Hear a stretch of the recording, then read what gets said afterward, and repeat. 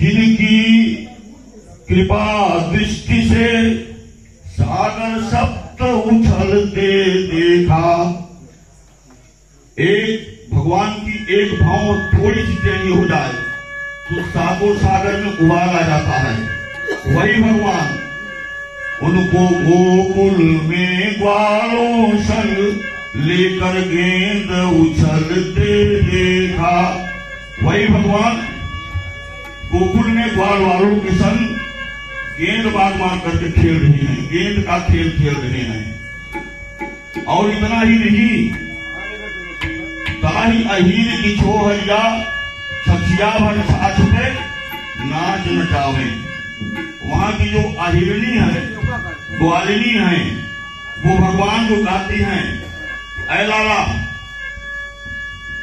अपने हथेली में सखिया में हथेली ऐ लाला ये थोड़ा सा मक्खन मैं तुमको दूँगी, तुम थोड़ा सा मेरे सामने नाचो। बताइए, वो साक्षात परमात्मा है, सोलह कला के अवतार हैं, और वो गोपिकाएँ कहती हैं कि थोड़ा सा मक्खन मैं तुमको दूँगी, पर पहले नाचो। है ना ताई अही बिछो भैया सचिया भर साथ पे नाच नचावे ऐसे प्रभु की वंदना। हम आप सब कर रहे हैं, इतने सरल हैं। तो जब भगवान की भक्ति मिलती है तो भक्त के सामने भगवान नाचते हैं। ये महापुराणों में इसका प्रमाण है।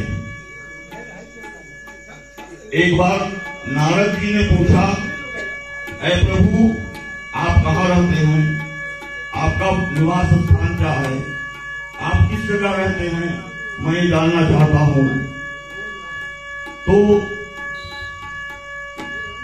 परमात्मा प्रभु ने कहा ना हम वसामि वैकुंठे। मैं वैकुंठ में नहीं रहता हूँ। ना हम वसामि वैकुंठे। योगी नाम हृदय न च तो योगियों के हृदय में रहता हूँ। योगी तपस्या जो कर रहे हैं, मैं वहाँ भी नहीं रहता हूँ तो फिर आप भगवान कहाँ रहते हैं? आपको तो मैंने सुना कि आप वैकुंठ में रहते हैं तो आप कह रहे हैं कि ना हम वसामि वैकुंठे योगी नाम हृदय फिर आप कहाँ रहते हैं? तब